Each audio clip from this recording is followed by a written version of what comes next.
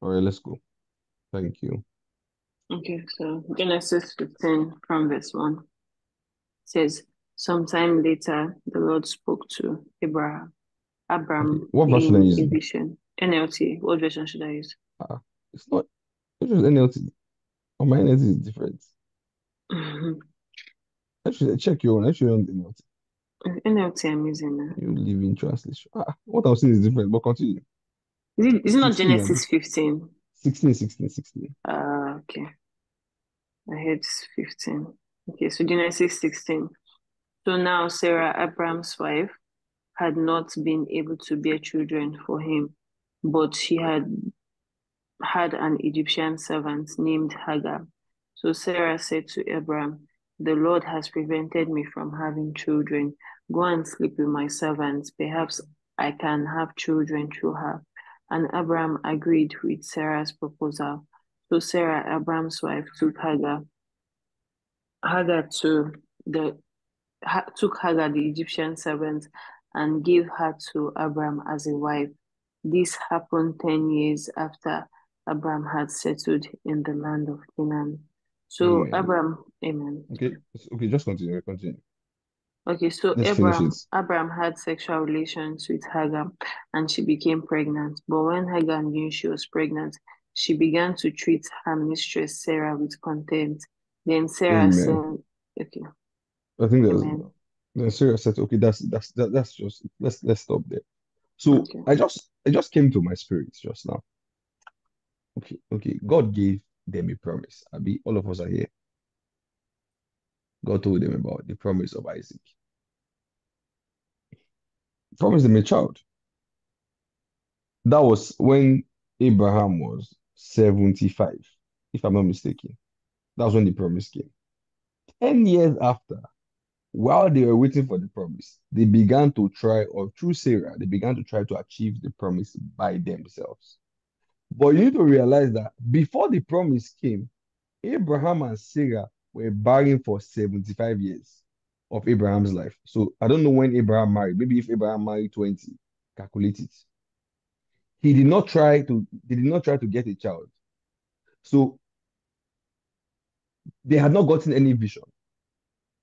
I'm trying to use it in our context today. So we did not have any vision. Now that God has given us his vision, because we want it to be achieved, a vision that we, we did not have at any point, that is only because of God we began to get it. We now want to achieve it by ourselves. So look at it, look at it. Let me let me let me come again. Maybe it's not very clear. I don't think I was very clear. So before God gave Abraham the promise, hmm,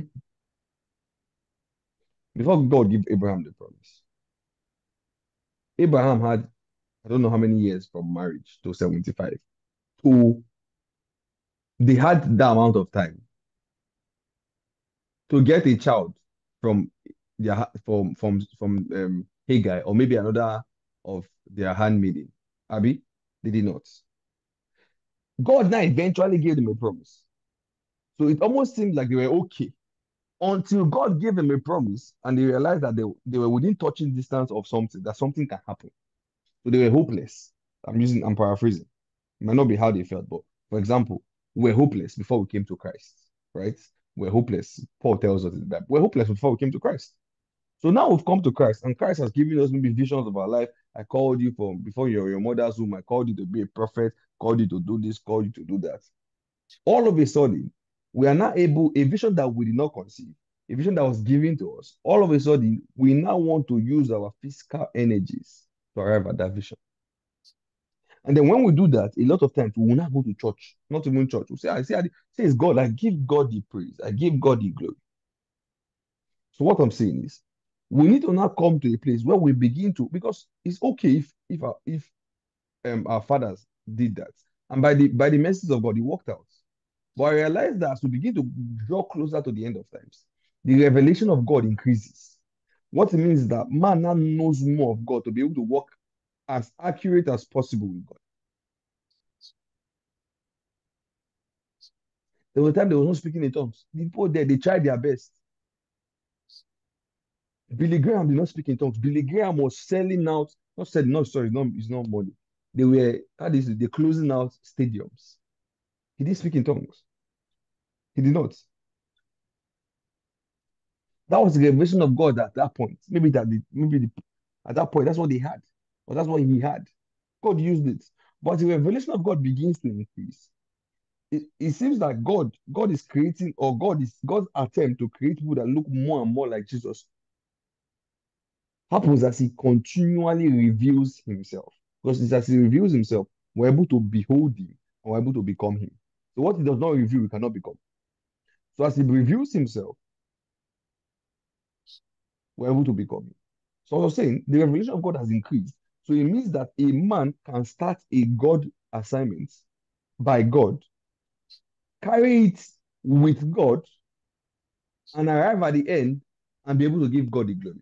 You don't have to start what God, God, what came in the, so Paul will say, what you started in the spirit, you want to continue it in the flesh.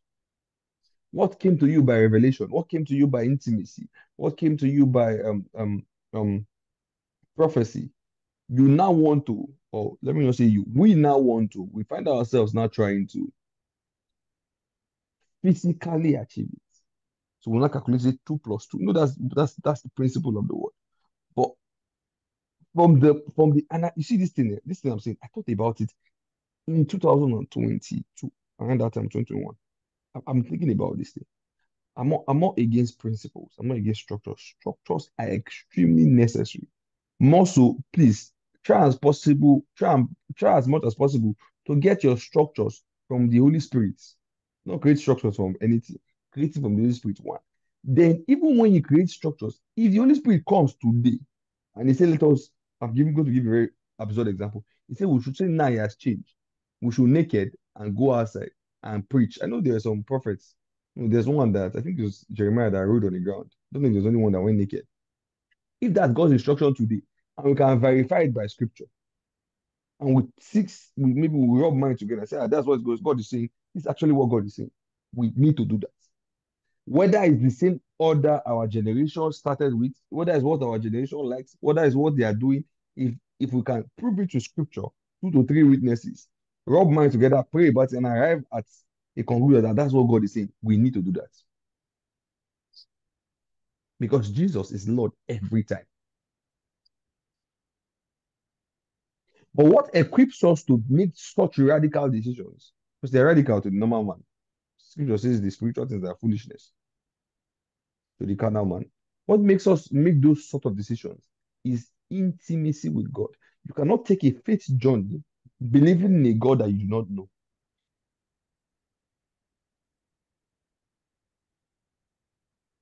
Because his faith comes by hearing and by hearing of the word. If you do not know the word of God, you've not encountered God by his word, it's, it's difficult to exercise faith. And the journey of your life, the journey of a just believer, scripture says a just shall live by faith. It means that, first of all, you come into salvation by faith, but also you come into the salvation of your soul and the salvation of your body, even by faith. And your daily work, because you're ultimately being transformed, is a walk by faith. Let me summarize. Every day you will live by faith. You don't stop living by faith.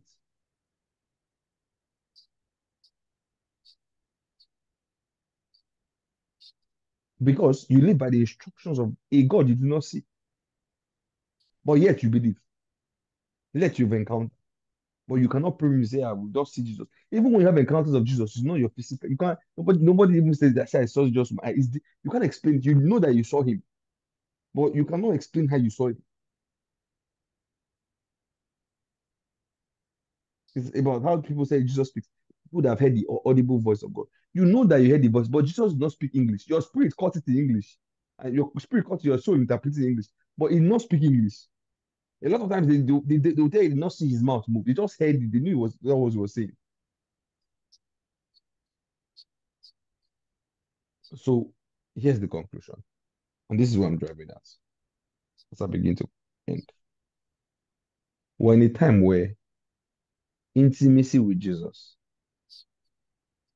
has never been this important.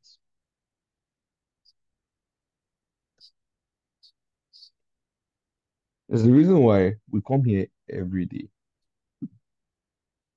to read the Bible. Not because anybody knows the Bible more than anybody. No. Please, if maybe we might have communicated that kind of information, I apologize. Maybe it's me, I apologize. We gather here to meet Jesus. We don't gather here to meet anybody.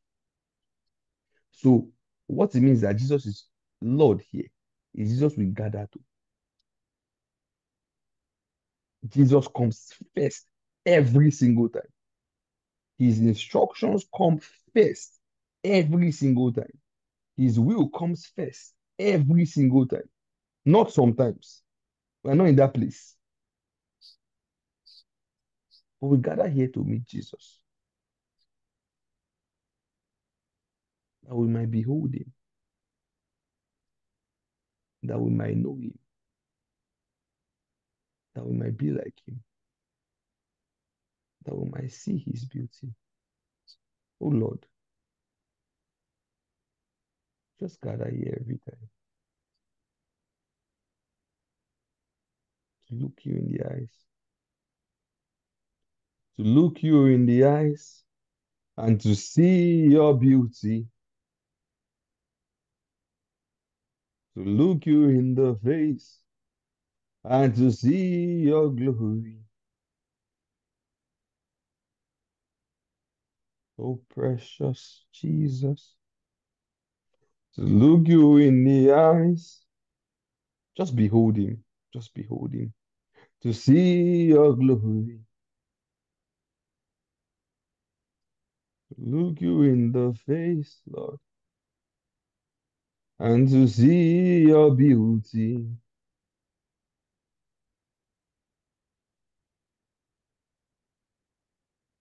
I want to look you in the eyes and see your glory. I want to look you in the face to behold your beauty.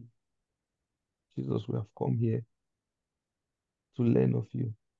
We didn't come here for ourselves. We've come here because we love you. And not that we loved you first, but you loved us first and you give your life for us, Jesus. We've come here, Lord, to look you in the eyes and see your glory. To look you in the eye and behold your beauty. Lord, we thank you.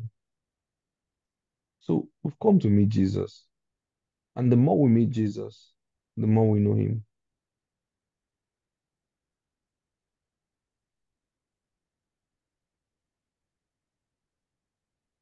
We've come to behold him, just to look him in the face, to hold his hand, to embrace him, to learn of him. Come to experience his love. There's nothing, nothing better than the love of God. There's nothing that can come close.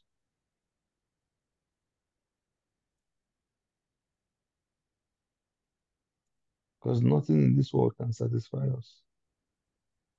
Jesus is the cup that will run dry.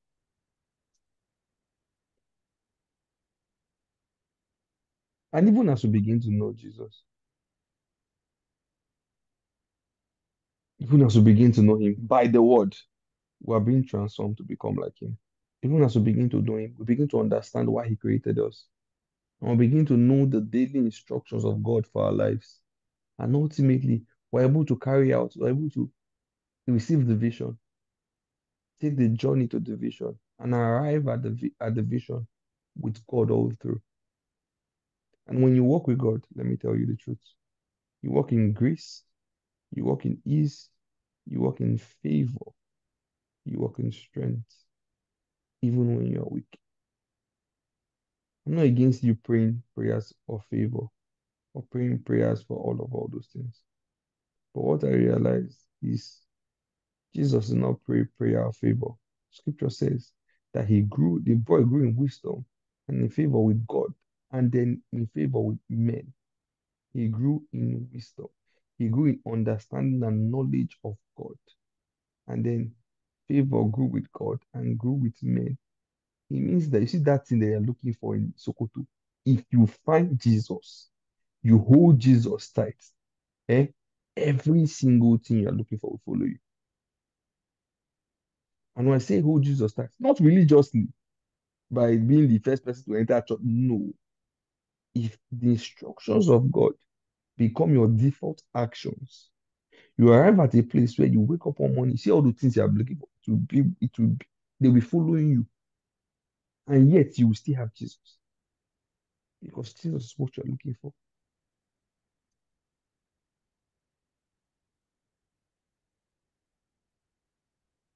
So instead of looking for favor, hmm, looking for wealth, looking for health, those things are not bad. Looking for, I don't know what you see. Look for Jesus. Let me let me look for Jesus, and you will see that every single thing you are looking for will follow you. Everything. You will not need, no, there are some prayers that you will not need to pray it. You will not need to. Some prayers that you do, you will not need to pray it. It's not, no, it's not, it's not pride. It's that you are too focused on God that God now needs to be certain that every single thing around you is met because He wants to keep your focus. And by the grace of God, I will find the scripture to prove it. Okay. Scripture says, all things work. You know, say some things, so all things work together for the good of thee. You know, we quote the scripture, we never quote the scripture of the criteria. We just quote the scripture with the way it's treat us in our belly. See, all things work together for the good of what? You know, see, uh, see so all things meaning that favor works together for the person.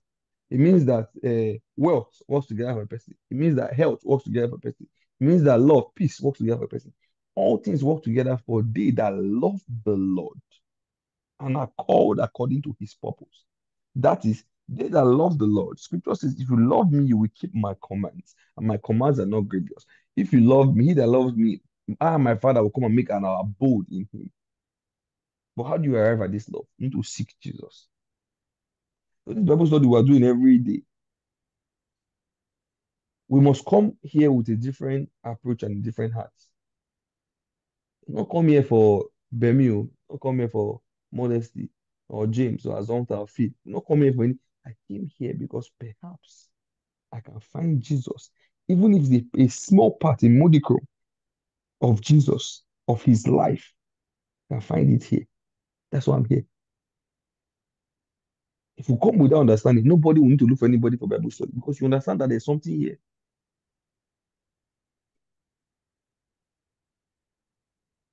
You understand that you come daily, open the Bible, say John, read it, read one line, learn the line, read the second, while learning Jesus. The thoughts, the former thoughts were casting away all, all thoughts and imaginations against the knowledge of God.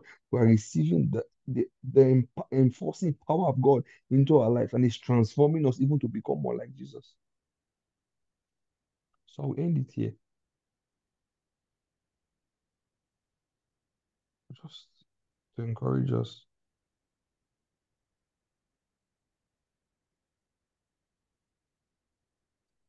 Just to encourage us.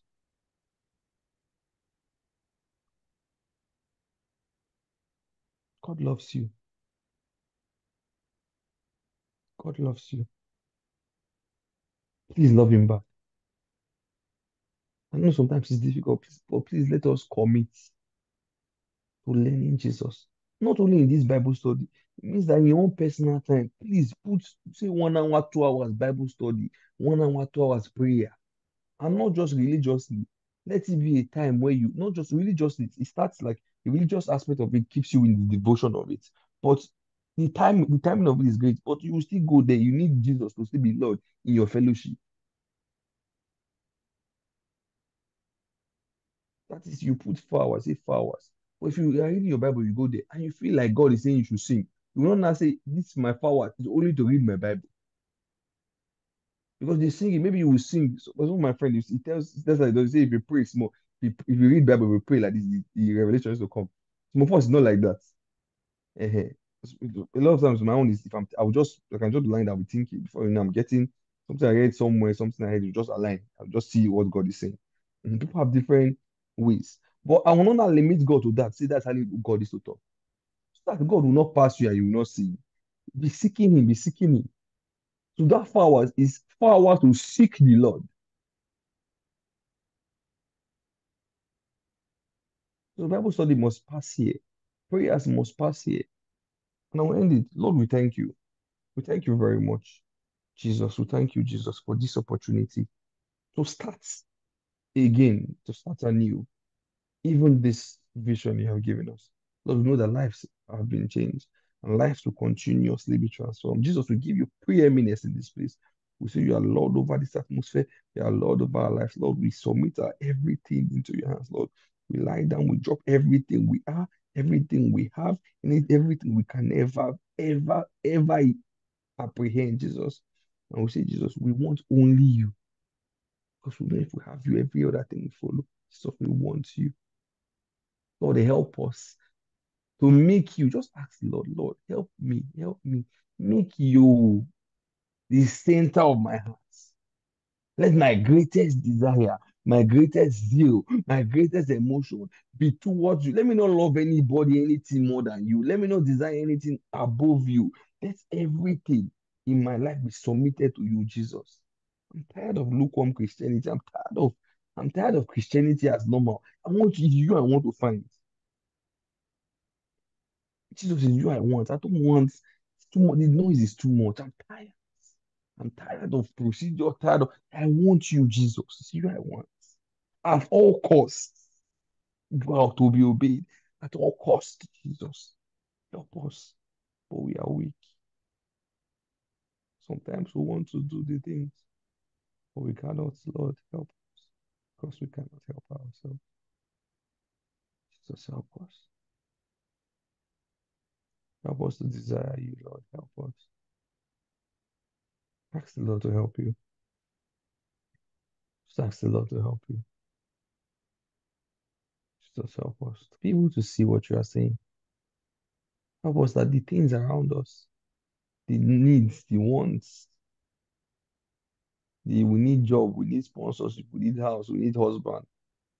Lord, so that those things do not distract us. Help us, Jesus, to keep our gaze at you.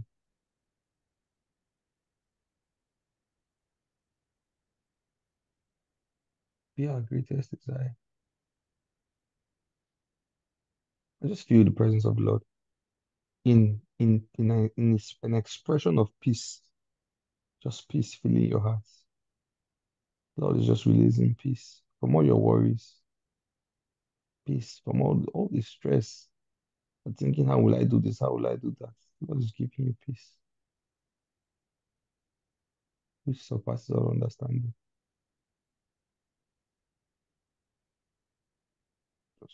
Peace. Thank you, Jesus. For in Jesus' mighty name I pray. Amen. Um, Auntie Azomta, can you can you can you talk? Amen. I don't know, amen. If it's possible for you, like if you can unmute, if any place where you can unmute. Yes, I can. Please, you help us sing. You know Oceans. Spirit lead me when my heart. Yes, you know the song, Abby. I, yeah, I, but I don't know the lyrics so much. Okay, let But me share it. I- Let me share it on my screen. Okay, you can share it. Mhm. Screen. Okay. Can we see it? Mm, no, I'm not seeing. No, What are you seeing? I'm not seeing anything. It's just Ah, let me try again. Screen. Let me try start broadcast. Okay. Can you see anything now? Yes, I can. Mm-hmm. Let's just sing that. Okay. You call me out upon the waters, the great unknown. My feet may fall, and there I find you in the me. Sorry, I think yeah. In in oh, ocean. Sorry, I don't know this song well. Let me just sing the chorus. okay, where's the chorus? Speak the bridge. Okay, sorry. I really don't know the verses. Can someone help? Let me just sing the Keep beat. my eyes above the waves when oceans rise. My mm-hmm. soul mm-hmm. rested mm-hmm. Your name. Let me sing the bridge. I am yours, and you are mine. Your grace abounds in deepest waters. Your sovereign hand will be Be my God. where feet It's my favorite me. You've never And you won't stop. Spirit My trust is without and you are Walk upon water, wherever you go. take me deeper than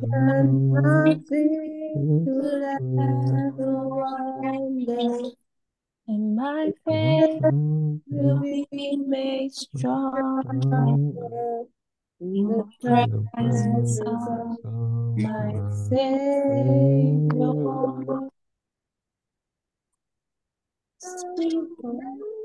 Call upon your name.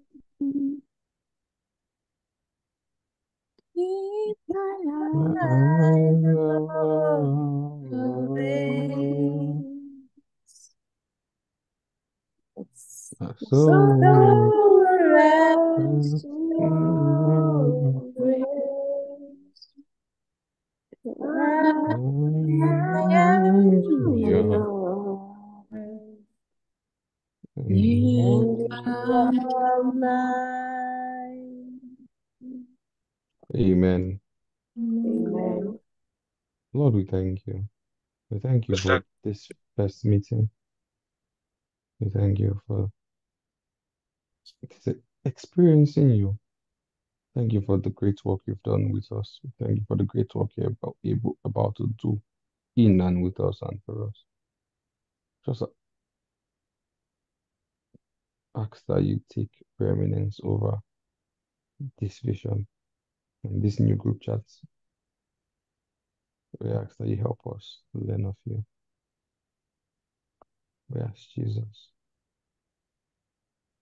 to strengthen us and you help us increase our desire for you. And you lead us even into still waters. We thank you for your peace which you have given us, not the peace of this world, but your own peace. Thank you, Jesus. In Jesus' mighty name we pray. Amen. Lord, we ask that when as we go to bed, that we begin to have mm-hmm. encounters of you, We begin to get dreams that brings about revelations of you. Us know you and know what you have us to with our life. In Jesus' mighty name we pray. Amen. Amen. Let's expect encounters and dreams. If you wake up, when you get a dream, when you wake up, write it. A lot of times, if you don't write it, you forget it. That's what happens. So let's share the grace. The grace of our Lord Jesus Christ, Jesus Christ, love of God, Lord, and and the sweet fellowship fellowship of the Holy Spirit Spirit, be with us abide with us now now forevermore. Amen. Amen. Surely God's goodness and mercy shall follow us Mercy shall follow us all the days of our life, days of our life. and we shall dwell in We the house of the Lord in the house of the Lord forever and ever. Amen. Amen. Thank you, everyone. Love you all. Shalom.